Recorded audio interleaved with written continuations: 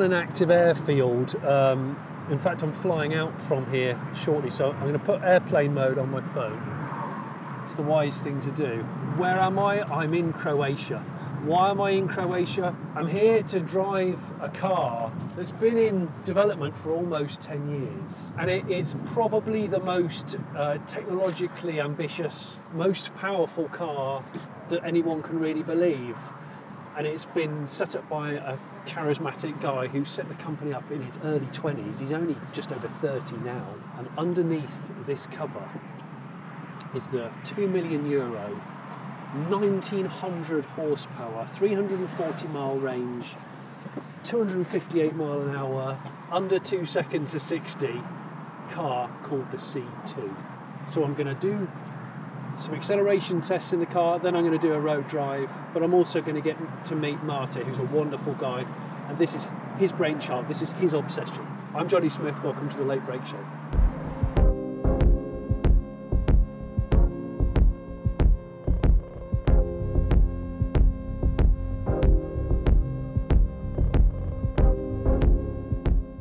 Mate, come on in. He's just hanging around on an airfield, casual. It's so good to see you. Um, we've been in touch for a few years about this, but finally, I know you said this is not a finished car, but it's that far away from finished. It's a pre-series car, which is 90% there to a customer car. So hang on, you, we, we, we picked a windy day to do this. It's got a name. It's not a C2. It's not the C2 anymore. This is the Nevera. And what we are experiencing today is actually a Nevera, which is a Mediterranean storm that comes unexpectedly and suddenly with lightning and rain. It's a Croatian thing. uh, Okay. of the Croatian Mediterranean coast. Yeah. This is a Croatian electric hypercar. So both are loaded with electricity and both are very energetic and powerful. And we thought this is the right name for the car. The Nevera. So hopefully we won't have a full electrical storm today. Yeah.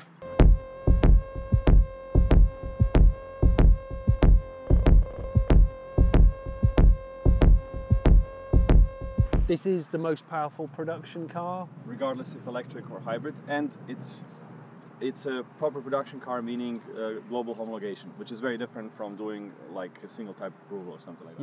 Yeah. A- and, maybe something, uh, the specs that you said, that's what we have confirmed with the car, and it's actually better than what we unveiled three years ago. So we set the bar very high, Yeah. and despite setting the bar very high, we jumped over it. And it's that's just the performance, you know. This is not a one-trick pony. We wanted the car to be comfortable, Yeah. usable, easy to get in and out, lots of space inside, lots of features like 13 cameras, autonomous driving capability. It has the biggest battery of any production car, 120 kilowatt hours. Wow. It has a 360 camera, you know, uh, a parking assistance system and stuff like that. Other hypercars don't have that Yeah. you know, connectivity, over-the-air updates. It's ticking so many boxes. Yeah, That's yeah. what made it so complicated and difficult to do this. And doing it in Croatia where there is no car industry, no experience and stuff like that. So this was a lot of blood, sweat and tears right here in carbon. It is amazing. It is amazing. It's just the numbers, if nothing else. Even if you, even if you're not someone that appreciates cars that look like this, it's the numbers. The numbers of this car are just mind blowing. 1.4 megawatts of power. It's a bloody power station that's got loads of carbon fibre around it. I think I'm going to have a word with your test driver development guy. Yeah, Um, he'll talk me through the controls. let's do that. Yeah, so it's it's quite straightforward. It's it's really easy. So basically, you have your um, knobs that are the main thing. So Yeah. this is your uh, drive knob where you choose your uh, parking, reverse, neutral, drive, Yeah, uh, and you're engaging the powertrain and disengaging the powertrain. Uh, this is your um, basically uh, modes, the driving modes that you choose your um, uh, range, cruise, yeah, sport, track, drift, and of course mode one or mode two that are um, like a personalization Yeah, settings. personalised, Yeah. so um, the, the basics of it, and of course this is the uh, powertrain distribution knob, which uh, allows you to change the uh, amount of torque that you are you will be delivering to the front or the, or the rear. Right. This is your front motors, and this is your rear motors. Oh, is it? Okay, okay. So Okay. in all modes you have torque vectoring on, and you can also on this mode, so on, on this knob, you can switch the torque vectoring off, the stability off. You can switch the, the traction control off, or you can have fall off, which is Off, off. off off. Yeah. I'm, I'm probably not going to do that. Launch control is, is enabled in all the modes, Is it? Yeah. Even in comfort mode. where- wherever you want. You just press the, the, the, the brake, press press the brake all the way, press the throttle all the way. Yeah. Launch control activates. You lift off the brake, and So like a Porsche. yeah. And the you, torque vector. You don't have to warm up the tires. You don't have to warm up the brakes. You don't have to warm up the engine. So you just you jump in the car and go. Launch control straight away if you wanted. Yes. and traction control learns the the track as as you go on, Gosh. so it gets the, the maximum from the grip. And drift mode's definitely not for the road. yes, of course. you have to drift responsibly. Yes. I've seen the way you drive. You drive quite hard. So, although you do have official test drivers, you're one of those as well inadvertently because if, if you you're quite hard on the car, Absolutely. you're quite hard on the controls because you're always trying to find a weak spot. Yeah, so everybody knows when they think it's ready, I come to drive the car and there's a list of 30 more things to do. uh, but I think actually you today here on this surface, which is much better This than is- our uh, usual track where we test, Yeah. will probably have a much better time than, than we had. So you'll probably now break the production car record um, with your run. Just super casual, just break the production car run. Ready for launch. Ready.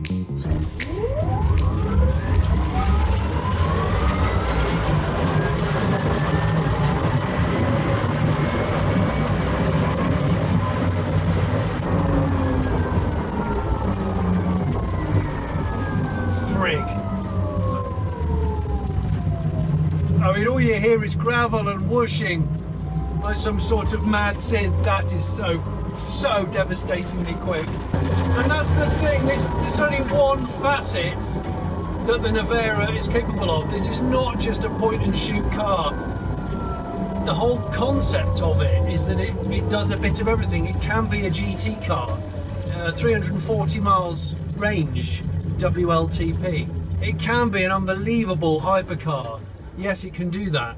It can also be comfortable. It can drive autonomously. It it can do pretty much anything you want in the car world, but wrapped inside hypercar skin.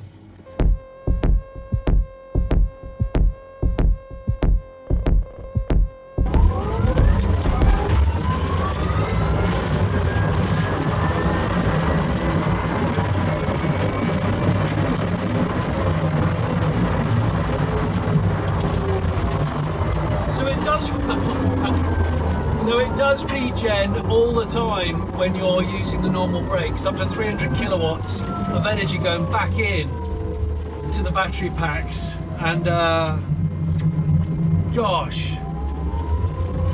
it's the. I mean, this thing weighs over 2.1 tons. This is not a light car. Electric fast cars can't really be light if they want any form of range, and that's what the balancing act of the the, the Rimac creation is. It's it's trying to be so many things, but trying to excel at them rather than being heavily compromised.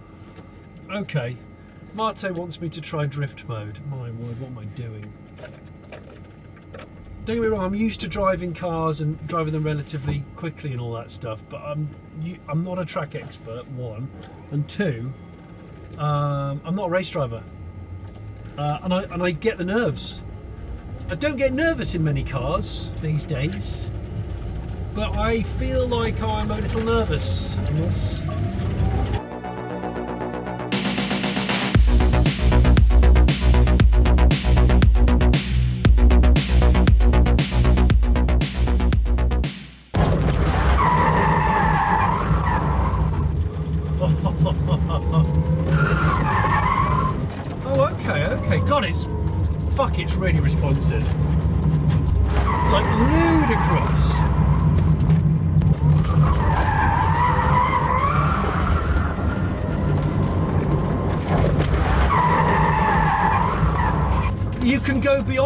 Of no return, and you've still because of the because of the way that this thing works, it just kind of pulls you out. Wow. Wow. Yeah, that's really scrambled my innards.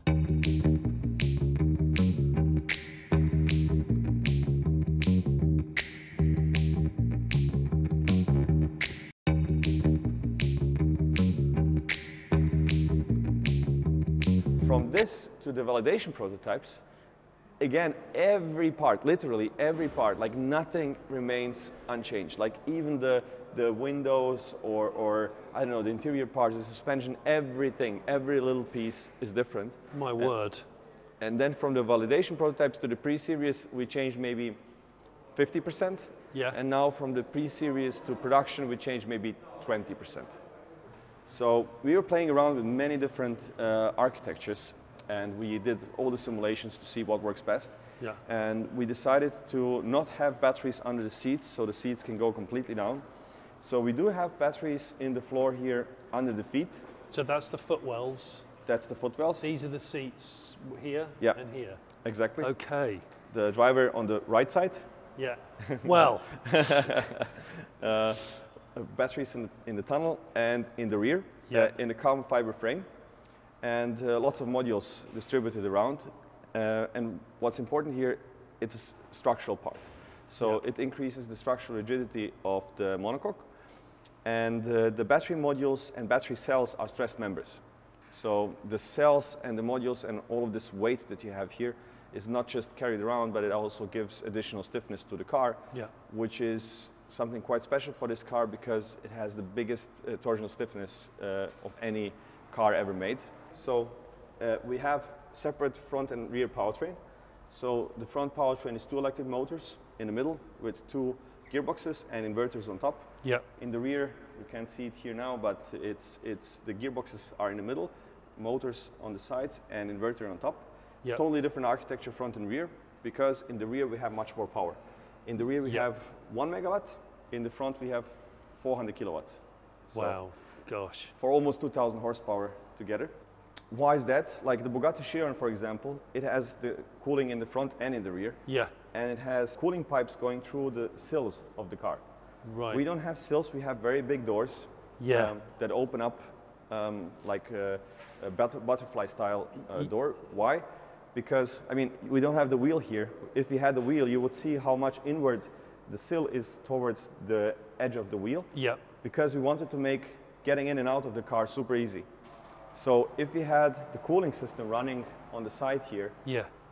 you couldn't do that. So that's why we had separate cooling systems front and rear Yeah.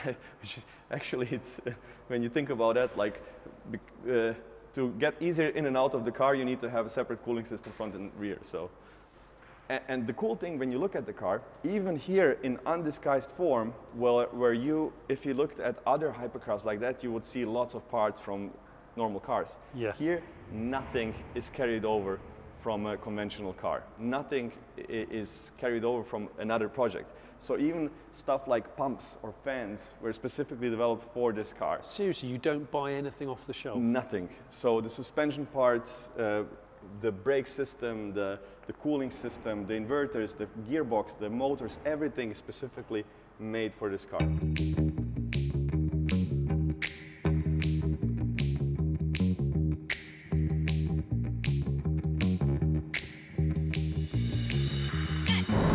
Driving the incredible, mind-blowingly technological Rimac Nevera. Two motors in the front, two motors in the back, four-wheel drive, 2,360 newton meters of torque, torque vectoring, autonomous driving, high-end audio equipment, comfort,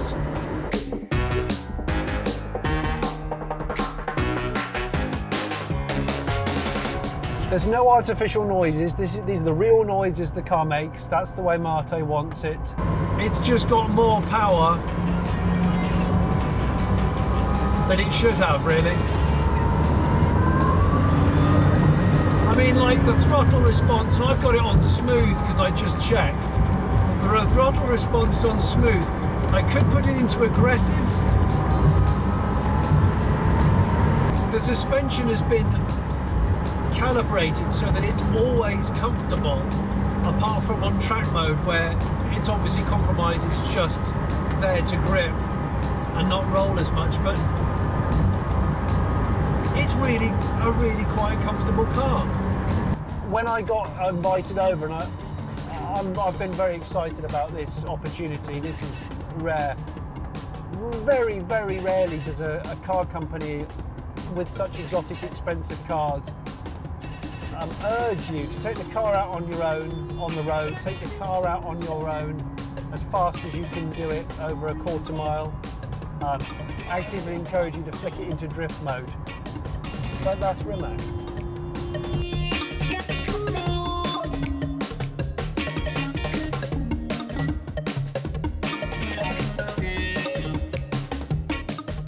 Let's talk about the design because I really like the fact that with, the air brake down, it's actually quite a, a smooth, simple car Yeah. in many ways. It's not sort of full of wings and mad winglets.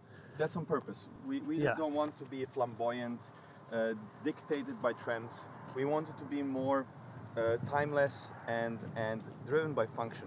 Yeah. So Adriano is our director of design. He's with me from day one. So he and I work together for 12 years. And he designed the concept one, and now Yeah. he leads the team that does everything that we do. Uh, something like 25, I think, designers. So from the user interface to the buttons, to the car, to the website, to the app on your phone, everything It goes through him. yeah, everything on the car has a function. Yeah.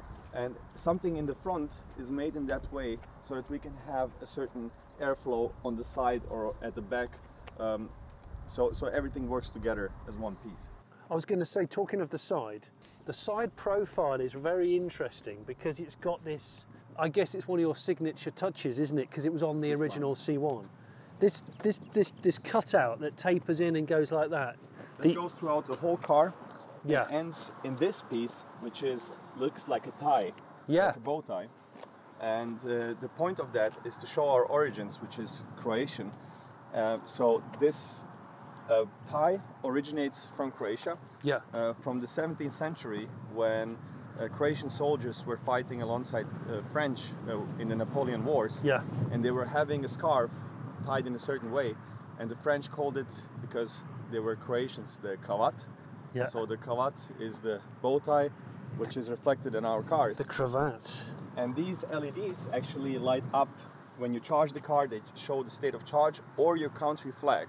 So they can um, illuminate in Croatia's flags Yeah. or um, Italian, whatever. you choose. Really? Yeah.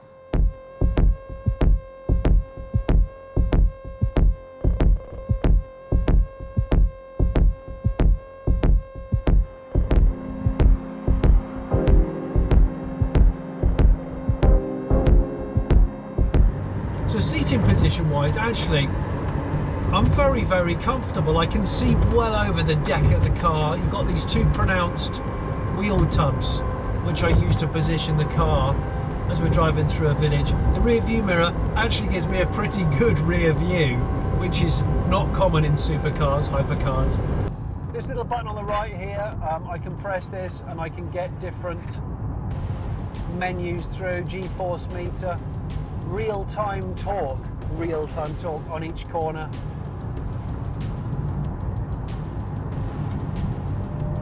Wow. Trip. Ah, temperatures. Okay, so that's yeah, that's that's low regen. This strange the kind of cones which come out of the dash with the conical double conical rotary controls on. All of this has been done because Mate believes in having physical interesting buttons for the important things. These toggles down here, you know, you've got your fog lights down here, you've got your suspension setting. You've got your windows either side. Physical volume button. Seven speaker audio with a subwoofer. There's a, a six terabyte supercomputer that processes things like the torque vectoring. And it can process six terabytes of data in under an hour. I think it's sensing the wheel slip and all of the behavior, the, the, the, throttle position, everything, fi- 50 times a second. And whilst all of that is geeky and a lot of people will be confused by it, what you do need to know is that the result is a car that feels pliable.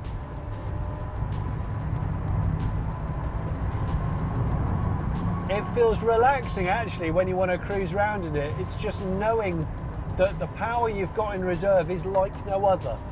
It's, it's just like no other. This thing's got built-in cameras so that the owner can put their footage onto YouTube or Instagram, complete with telemetry if they so wish. They can publish their information. And that's the progressive nature of Rimac. They're always thinking about what the next what the customer wants next. What a new breed of customer might want.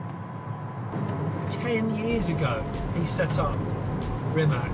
Little did he know that going from tinkering around with a rotten BMW uh, converted to EV in his shed to a company which is contributing to the GDP of Croatia. He's probably the most famous person in Croatia now that Goran Ivanisevic, tennis player, is retired, long retired.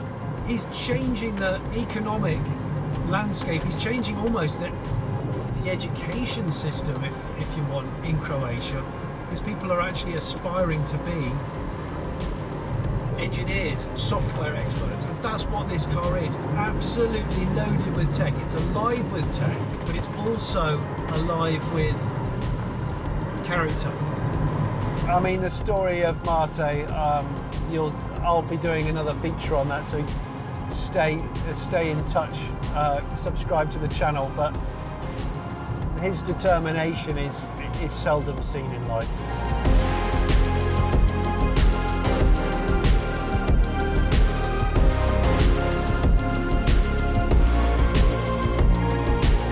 Having buttons that are specifically made for this car and not out of some other car. It's so much work. Yeah. And it makes your life so much easier if you just take that and put it in the car. Of course. Or having Lamborghini does it. yeah, or, Yeah, everybody does it. or having like uh, you know the 360 parking assistant, or having uh, four airbags and uh, uh, U.S. homologation. That's a whole like the difference between EU homologation and U.S. homologation is one car versus 15 cars Is it really? being crashed.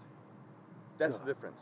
It's Wow. a huge difference. Or us having this strong regenerative braking means we have to have an electrohydraulic brake system with a brake pedal feel simulator, which is 100 times more difficult and expensive to develop than a vacuum-based uh, or vacuum uh, brake booster, which Yeah. is like what other hypercars have. Or having an electric power steering to enable uh, steer by wire for the autonomous driving system Yeah. is a hundred times more difficult to implement than uh, with a proper steering feel than a hydraulic uh, system that you just put in a car and it's okay. So, you know, w- we made our life maybe a little bit too complicated with this, trying to tick all the boxes. But You are. you really, really are. yeah, the best thing about it is the adjustability. Yeah. It can really be like a GT, and flick of a switch, it's a drift monster.